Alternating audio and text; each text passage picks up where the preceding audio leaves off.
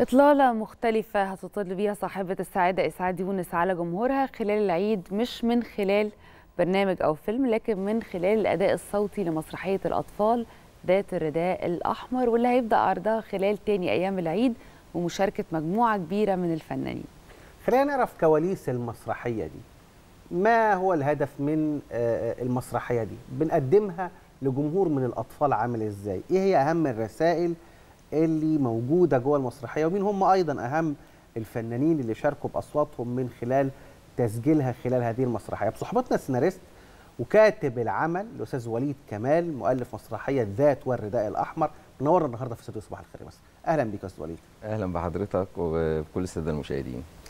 عايز أتكلم مع حضرتك في البداية على يعني كتابتك لعمل بيستهدف الأطفال موضوعه ال social media جايب فيه عدد بين النجوم وكل نجم مسجل صوته وفي الآخر عملت نوع من أنواع ال- الدمج ما بينهم في شكل مسرحي لغاية دلوقتي عايز أتخيله. فهمني القصة عاملة إزاي؟ يعني الحمد لله طبعا توفيق من ربنا سبحانه وتعالى. آه، أنا بكتب الاطفال تقريبا من أكتر من 22 سنة. وعملت مسرحيات على المسرح القومي للاطفال لكن بشرف إن دي المرة الأولى على مسرح القاهرة العرائس المسرح الشهير اللي تم تنفيذ عليه آه، الليلة الكبيرة الليلة اوبريت الليلة الكبيرة. طبعا لصلاح جاهين فحاجة يعني بالنسبة لي خيال إن أنا أكون موجود عليه وحلم إن أنا أكون موجود على مسرح القاهرة العرايس آه، فكتبت مسرحية ذات والرداء الأحمر بستلهم فيها التراث العالمي اللي دايما مقرب لينا كلنا. كلنا بنسمع من جداتنا وأمهاتنا آه، حواديت وكلها تقريبا الحواديت العالمية. فذات الرداء الأحمر بتاعت زمان اللي بتبقى عنيدة وما بتسمعش كلام الأم فطبعا ده فكرة حوار الأجيال دايما مع بعض. الأطفال بيحسوا إن هم كبروا وإن إحنا خلاص بقينا فاهمين ونقدر نعمل كل حاجة لوحدنا ومش محتاجين نصايح من حد. والأمهات والآباء بيبقوا دايما خايفين على أطفالهم. فأنا حبيت آخد التيمة دي. اللي هي حطيت الواو بس الواو طبعا فرقت كتير يعني قد إيه واو طبعا الواو في اللغة طبعا بتفرق كتير وليها مواضع كتير لكن كمان هنا في المسرحيه فرقه كتير جدا لأن البطلة بتاعتنا أصبحت اسمها ذات وبترتدي فستان أحمر تطلع بيه على التيك توك فتصبح مشهورة مم. وده الفكرة بقى في الحداثة إن إحنا بنناقش مستحيل نناقش فكرة قديمة في الجيل النهارده اللي بيتعامل مع ال social media والتطور التكنولوجي ده ونبقى نبقى بنناقشها بنفس التقنيات القديمة أو الأحداث القديمة مهم. آه، طيب أستاذ وليد الحقيقة إنه يمكن مشاركة آه، فنانة ونجمة كبيرة زي إسعاد يونس وقريبة الحقيقة من أجيال كتير جدا دي فكرة عظيمة. لو اتكلمنا عن المشاركة دي كمان آه، باقي طاقم العمل أو باقي الكرو اللي بيشتغل. يعني طبعا صاحبة السعادة بالنسبة لنا ده كان حلم من ضمن الأحلام بقى بما إننا بنحلم دايما. فكانت المخرجة نادية شويخ بصراحة ودكتور أسامة محمد علي مدير المسرح. هي اقترحت إن تبقى صاحبة السعادة. وأنا في الأول يعني قلت يعني صاحبة السعادة إسعاد يونس ممكن تيجي كلام جميل. جدا. يعني كلام نظري. يعني حاجة هايلة حاجة يعني حلم كبير جدا مش شرط إن هو يتحقق. بس الحقيقي كان دكتور أسامة محمد علي قال أنا براهن على الفكرة وعلى. النص. دايما من بداية العمل كان يقول البطل الأساسي الأول هو النص. فقال إن فكرة إن اسعاد يونس لو عرفت النص ده وعرفت قد إيه هو بيناقش هو كمان راهن وإحنا راهنا إن هي بخبرتها الطويلة وبعمقها وإبداعها هتفرز وتقول أنت كويس. فقالت وبالمناسبة كانت هي في دبي لما وصل لها النص ده كانت هي في دبي قالت طب ابعتوا لي النص هي رحبت. بالفكرة لأن ده مسرح القاهره العريس برضه له تاريخ عظيم. طبعا. فرحبت بالفكرة بس قالت ابعتوا لي النص. فلما قرت النص قالت لو هتقدروا تنتظروني أنا أنا مرحبة جدا وعجبني النص جدا والفكرة لو هتقدروا تنتظروني أنا هكون معاكم. فطبعا. لا لازم ننتظر. كلنا لازم ننتظر صاحبة السعادة. أكيد طبعا. شرف طب مين كمان؟ أكيد طبعا. هي فنانة كبيرة الحقيقة ويمكن اولا صوتها آه، ليه بصمة خاصة. بيها. ده غير كمان إن هي بالفعل قريبة لأجيال كتير جدا. حتى الأجيال الجديدة هي كمان قريبة ليهم جدا. طب بالنسبة لباقي النجوم المشاركين في العمل؟ الحمد لله ربنا وفقنا في كاست جميل جدا. جدا. إن شاء الله يسعد الأطفال ويسعد الأسرة المصرية كلها. معانا طمطم طمطومة يعني أشهر. العرايس اللي إحنا تربينا عليها. طمطم في بوجي وطمطم النجمة القديرة هلا فاخر. آه ومعانا طبعا من جيل الشباب يعني برضه عشان نقدر نقول هو ده حوار الأجيال اللي دايما لازم يمتد وده اللي يتقدم على المسرح في كل قضايانا وفي شغلنا للأطفال. آه معانا النجمة الشابة المبدعة ميان السيد. آه. اللي برضو قبلت بطولة العرض ده وهي ذات بقى الجميلة بتاعتنا اللي بتتفاعل مع الأطفال دايما آه وكانت مفاجأة بالنسبة لي جدا وإحنا بنحضر الكواليس قد إيه هي طفولية قد إيه هي مندمجة في العمل قد إيه كانت حريصة على إن دايما يطلع الشغل في آه، أفضل صورة. معانا النجوم طبعا سامي مغاوري معانا المذيع والممثل الجميل عمرو رمزي آه، تامر فرج آه، نجوم أشرف طلبة عصام الشويخ. يعني الحمد لله معانا كاست آه دي مجموعة هايلة وشرفنا بقى كمان وكمان بإن معانا ألحان وده بالنسبة لي شرف كبير جدا آه، ألحان الموسيقار الكبير هاني شنودة. الله. يعني حاجة مبدعة جدا وعمل ألحان يا رب تحوز إعجاب الأطفال والأسرة المصرية كلها. طب ما تاخدني كده في رحلة عبر النص. بدأت إزاي؟ أهم الشخصيات الرئيسية. الحبكة بتاعتك كانت عاملة إزاي؟ والنهاية بقى انتهت بإيه؟ آه، ببساطة يعني كده. طبعا أكيد. آه، يعني أنا لما بدأت ذات ورداء الأحمر كان عندي فكرة إن زمان كانوا أهالينا دايما يقولوا لنا نصايح. ما تتعاملش مع حد غريب. هو حد يجي لك المدرسة طبعا إحنا جيل مختلف. يعني اللي بيسمعني من الأطفال النهارده هيقول الكلام ده غريب شوية لكن إحنا اتربينا على ده. آه، هو حد يقول لك بابا وماما مستنيينك في حتة وتروح معاهم؟ هو حد يدي لك آه، حاجة تعرفوش، وتاكلها شوكولاتة وتاخدها منه. أي حد عصير يشربك عصير وكنا. النصايح دي بنقعد نسمعها كل يوم إحنا حفظنا. يعني طبعاً. حقيقي إحنا كنا بنقول الكلام اللي بتقوله بطل في العمل. إحنا حفظنا. خلاص والله حفظنا. إحنا ممكن نسمعه وناخد فيه درجة كاملة يعني.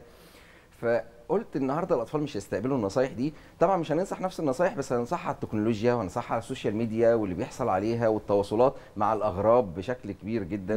فلو إحنا قلنا لهم بشكل نصايح الأطفال مش هيقبلوها. فليه ما نعملهاش في عرض مسرحي عرائسي يقدم للأطفال بشكل درامي وغير مباشر من غير النصايح دي؟ وهو ده كانت فكرة العرض الأساسية آه، إن في الآخر حافظنا على النسق الأساسي لذات الرداء الأحمر القديمة إن هي بتسمعش كلام مامتها فبتروح في الشارع فبتقابل الذئب الشرير اللي. بيطاردها وبيروح معاها لبيت جدتها فبيحصل إن هما الاثنين بيبقوا في خطر فالذئب النهارده أصبح ثلاثة الذئب اللي بيطاردها عبر الفيسبوك ويعرف معلومات عنها وي... وللأسف يصورها من غير ما هي تعرف وفاكرة إن ده مش ممكن مم. فيبتدي يطاردها ويحاول يعمل آه، حاجات يبتزها. يعني خطيرة وتعتبر جريمة طبعا مم. في الأساس ويطلع شخص كبير ومتنكر ولا هو ومش شاب ولا حاجة والكلام ده كله. والشخص اللي كان بيشوفها بتتكلم من الموبايل الغالي والسلسله الذهب اللي لابساها اللي باباها مسافر. وبعتها لها من بره فقرر برضه وعرف إنها بتقول في اللايفات بتروح دروس فين وبتيجي منين المعلومات الخطر اللي إحنا بنسربها من غير ما ندري. فيبتدي يطاردها هو كمان وهي رايحة الدرس ويراقبها عشان يسرقها وحد ثالث عايز يخطفها. فأصبح الذئب يعني الذئب بتاع زمان بقى ثلاثة يعني آه طبعاً بقى أخطر إحنا بنواجهه أطفالنا.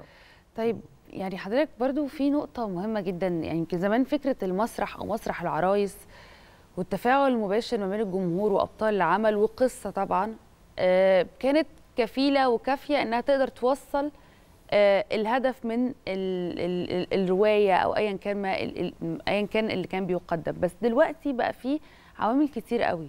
يعني فكرة زي ما حضرتك تحدثت فكرة دمج الحداثة والتراث وطرق عرض ال ال ال السيناريو وطرق عرض القصة وإن أنت توصل فكرتك بقت محتاجة جهد أكبر بكتير عشان تقدر خاصة الأطفال يمكن لو جيل كبير شوية ممكن يستوعب. يستوعب بس الأطفال عشان تقعد طفل يقعد يستوعب ده ويقعد فترة مدة العرض يقدر يستوعب ده ويقدر يتفاعل معاه دلوقتي بقت صعبة جدا أسألك بقى إزاي عملت ده ولا لسه طبعا حضرتك اتكلمت في نقطة مهمة جدا و- وبالذات طبعا زي ما حضرتك قلتي في المسرح تحديدا. إن الجمهور يرتبط لأن المسرح له ترمومتر كده إحنا عارفينه طبعاً.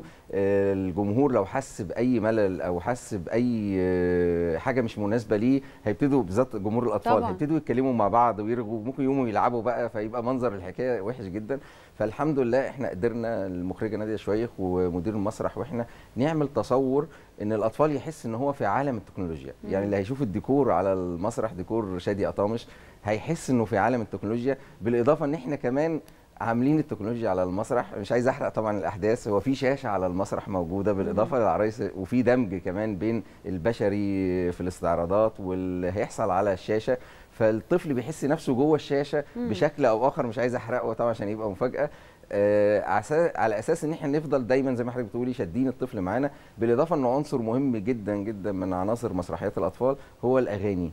طبعا. اللي الحانها اللي بتشرف إن أنا كتبت أشعارها والحانها الف- الفنان الكبير والموسيقار هاني شنودة. آه وبرضه مزجت فيها زي ما حضرتك بتقولي ما بين التراث والحداثة. إن إحنا عندنا تيمات معروفة بننقلها من جيل لجيل ودايما مستغرب إن اولادنا يروحوا المدارس ويعرفوا الحاجات دي. طب هم عرفوها منين؟ يعني طب ده جيل جديد زي فتحي وردة وأوفيليا وردة. فناخد التيمة التراثية ونطلع بيها للحداثة بدل ما تبقى فتحي وردة أو اوفيليا وردة بس لا فتحي وردة من الأغراب أوفيليا وردة عليك الباب فيسبوك وتويتر ولا واتساب. فنبتدي نتعامل مع ال social بشكل جديد برضه وحداثي نقدمه للطفل بشكل مبسط.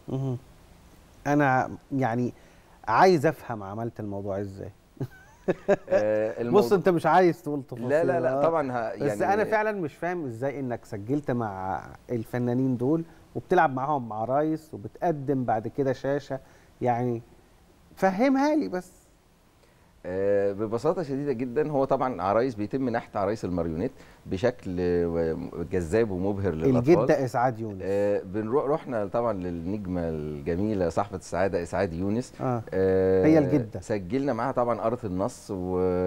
وأتقنت دورها قد إيه صوتها كان شجي وقد إيه صوتها ممتع.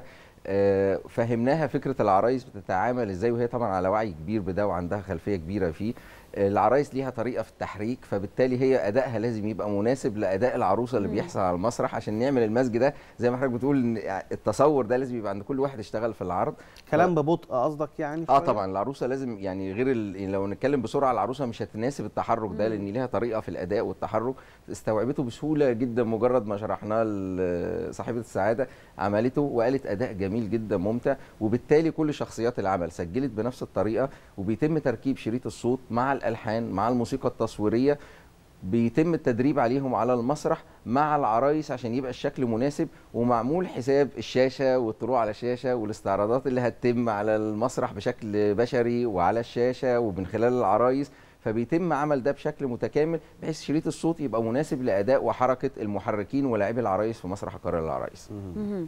طيب بالنسبة للتحضيرات بقى الخاصة بالنص نفسه حضرتك زي ما كنت تكلم راعيت عوامل كتير جدا التحضير نفسه للنص وفكرة إن أنت تحضر تستحضر الفكرة وتستحضر كمان كل العوامل اللي موجودة دلوقتي في عصر الجيل الجديد ده خدت منك وقت قد إيه؟ آه، يعني تقريبا هي كتبت آه، من- يعني من ثلاث شهور لأربع شهور بالتحضيرات. طبعا الكتابة يعني آه، الكتابة دي بتبقى آخر مرحلة. زي ما حضرتك قلتي إن التحضيرات اللي قبل الكتابة يمكن الكتابة بالنسبة لي الحمد لله ما بتاخدش وقت كبير لكن التحضير بياخد وقت كتير. رسم الكاركترات إزاي أرسم ذات وأرسم المفردات بتاعتها.